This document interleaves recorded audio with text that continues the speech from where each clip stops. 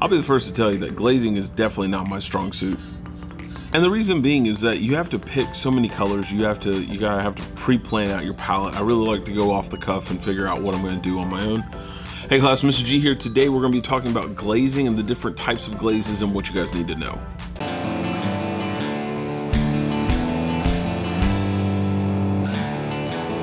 For many of our glaze pieces that we do, uh, specifically in traditional school setting, we're gonna be using low fire glazes because most of us only have access to an electric kiln. Now, if you're so lucky as to have a gas kiln, that's a lot of fun. Or even better, a raku kiln. Most traditional schools don't have these. reason being is because it's an open flame and there's a lot of liability safety concerns that most people don't want to bother with. And it's not because the art teacher doesn't know what they're doing, it's just that the principals are a little scared of if you know little Johnny or little Susie's gonna get incinerated and they have to figure out whose body's who.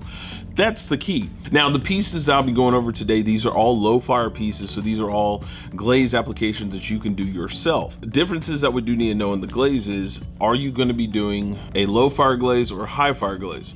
All right, so let's look at some different glaze options. Now, as I said before at the beginning, we're basically gonna be dealing with two types of glaze that you're gonna work with. You're gonna be either working with low fire or high fire. Now, both of these look exactly the same. You really have to read the labels and understand what these things mean. Now, if you're in the low fire range, okay, so the main difference between low fire and high fire is temperature range. Now, low fire is really the spectrum for them is the 04 down to about 08-ish. Uh, all that kind of variants are in the lower end of the spectrum. Now, uh, glass fusing and doing transfer images, that kind of stuff, you're going to be firing those on much lower scale. So the 020s, the 0, um, 018 to O22, those that's the bottom end of the spectrum.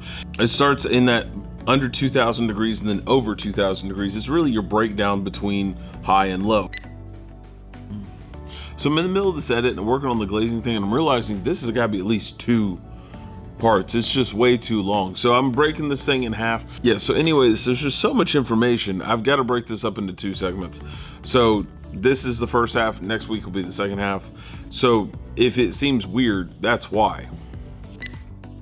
Now, if it's over that 1945 and you're dealing with that low fire glaze and you accidentally set your kiln to 2000 degrees, that 60 degree change will affect what does happen with the clay and what does happen with the kiln structure. When you're dealing with low fire clay and low fire glazes, you are going to be dealing with a melt factor at a certain temperature.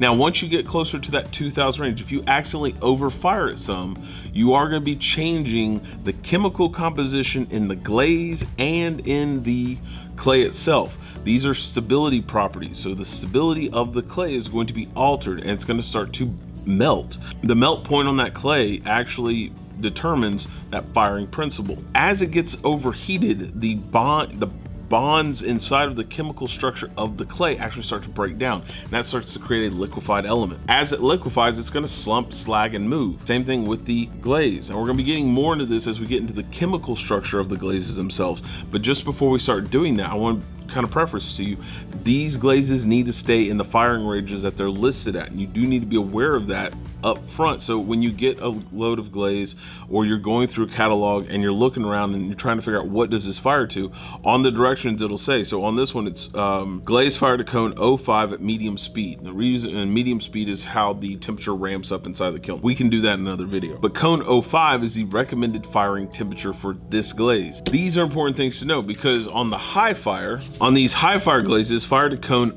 4 and 6. These glazes 04 to 06, these glazes cone 4 to 6.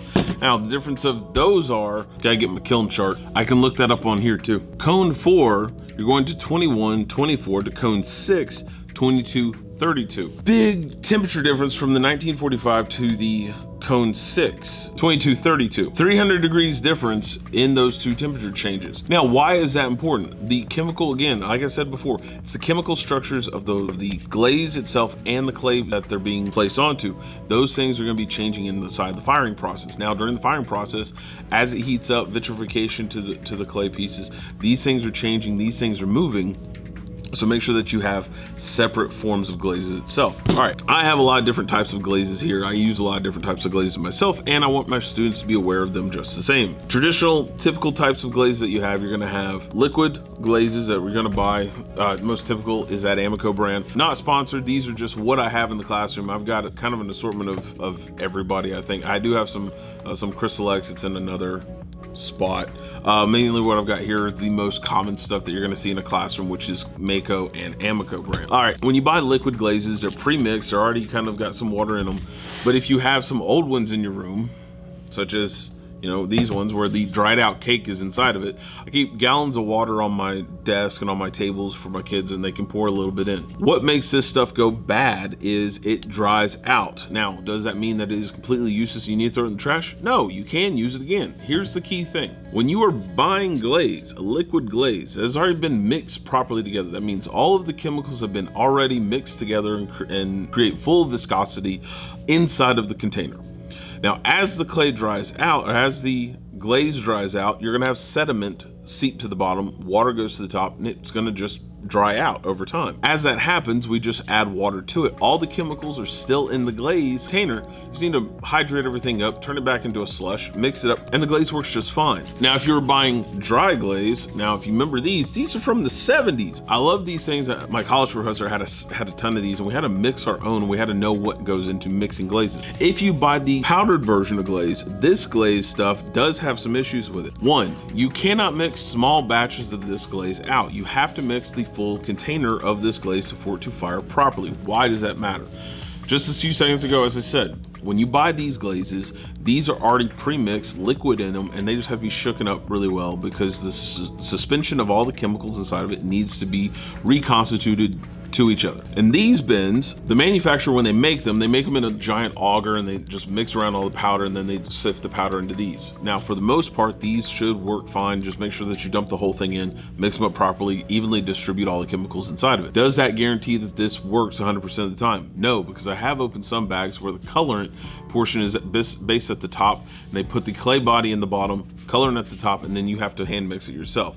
These things happen over time. Just be aware that that's how that works. When you're dealing with these, these, make sure that you're mixing up a full batch at one time. Make sure that all your chemicals are mixed together properly. This will ensure that the glaze properly adheres to the piece, as well as all of the firing processes when it comes out of the kiln there's no crazing, cracking, or uh, like fissures on the kiln, on the glaze itself.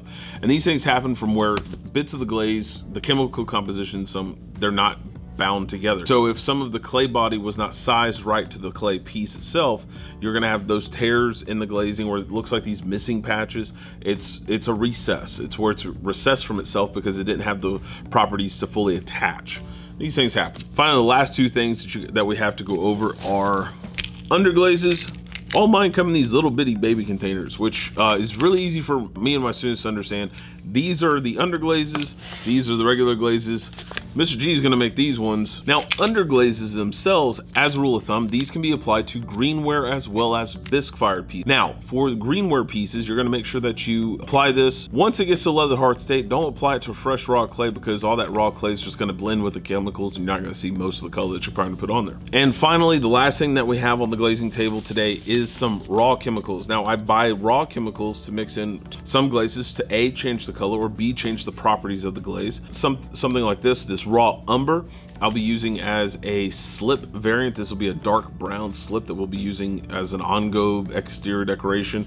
Works just the same as our underglazes, except this really needs to go on high fire stuff because the raw umber doesn't burn off until it reaches that until it reaches a higher level of maturity. So this kind of stays raw on the bisqueware pieces. So even if you put on underglaze, if you put this on raw clay, it'll fire and it'll attach sorta.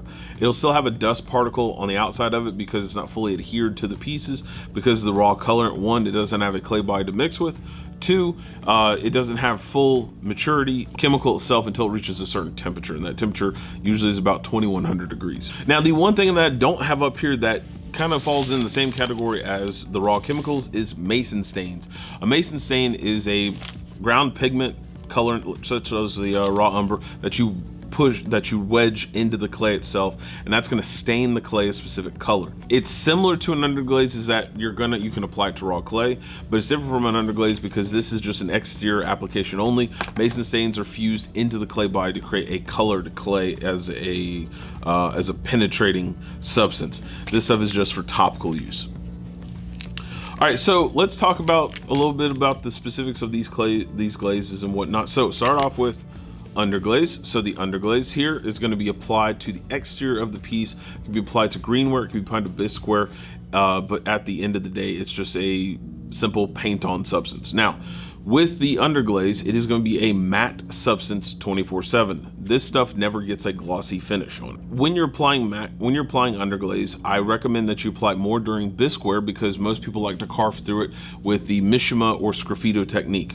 Be doing that on another video, but also, you can uh, apply this into green into bisqueware. Now, if you're applying it to bisqueware, you can easily add a color over the top of it. Same thing if you were doing it with the greenware, you can apply glaze on top of it after the fact, after it's been fired through that bisque firing. What you're gonna get out of that benefit is if you have a dark colored underglaze and you have a lighter if you have a lighter colored glaze that you're gonna put on top of it, you're gonna see those colors show through very easily. Kind of like this.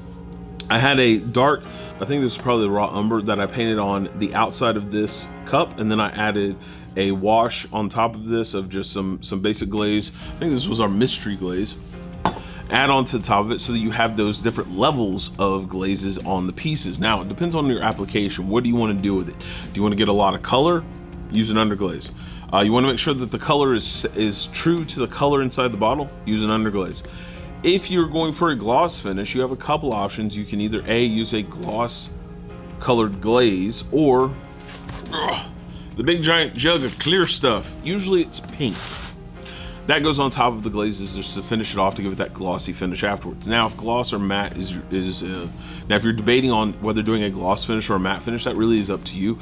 Uh, aesthetically, uh, the gloss finish is going to you know be a lot more tactically uh, pleasant on the on the hand because you're that's just how raw clay sounds on a bare hand. It's not pleasant. It's it's a very it's like touching a brick. I mean that's how it is. Uh, if that's the finish that you like and that's the finish that you're going for fine. That's good. Cool. If you want the smooth finish that nice smooth lacquer glass finish that has to be gloss. Make sure that you're reading the labels. That's a gloss finish. Now is it always the case? No. Rule of thumb that I go by with my students is if it's an underglaze, it's definitely going to be matte. If it is um, a low fire glaze that has that it's food safe, usually that's gonna have a gloss finish in the end of it. So just a quick recap.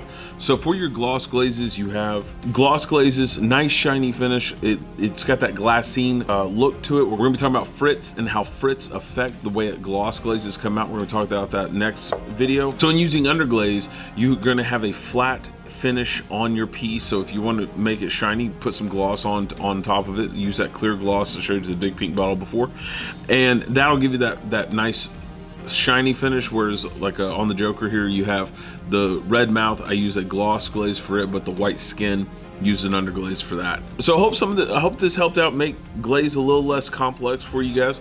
Okay guys, so like I said, we're gonna be breaking this up into two sections because there's so much information that we're covering in this video. Gotta break it up into two for you guys. Again, doing more stuff in the next video, so stay tuned for that. As always, let's go ahead and finish up for our, with our homework.